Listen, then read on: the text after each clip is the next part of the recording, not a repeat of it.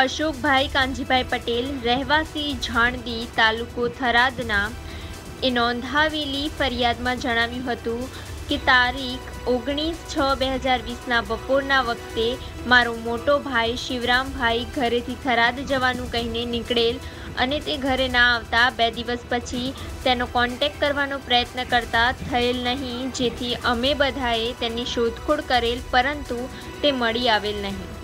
જેથી મારા ભાઈ સવદાસભાઈએ થરાદ પોલીસ સ્ટેશન આવી મારા ભાઈ ગુમ થયેલાની જાહેરાત આપેલ હતી.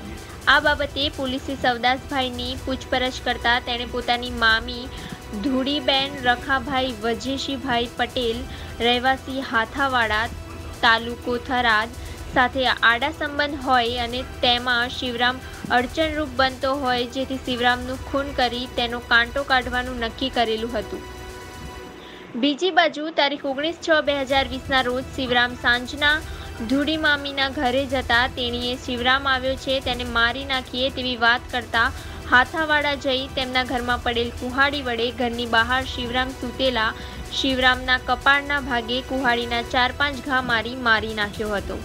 તેની લાશને મામીએ તથા તેમના દીકરા દિલીપભાઈએ કોથળામાં ભરી ખેતરમાં પડેલ જીરાની ડાંખણીમાં નાખી તેને સળગાવી દીધી હતી. તથા વધેલ હાડકા ગઈકાલ રાત્રિના આશરે દસેક વાગે ગોદડાના ખોડિયામાં ભરી તેણે તથા દિલીપે સાથે મળી સીમમાં આવેલ નર્મદા કેનાલ પાસે નાખી દીધા હોવાની કબૂલાત કરી હતી. થરાદ પોલીસે એફએસએલની મદદથી લઈને વધુ તપાસ હાથ ધરી હતી. આ બનાવને લઈને ચકચાર મચવા પામી હતી. રિપોર્ટર ભમરાજી વાઘેલા, થરાદ.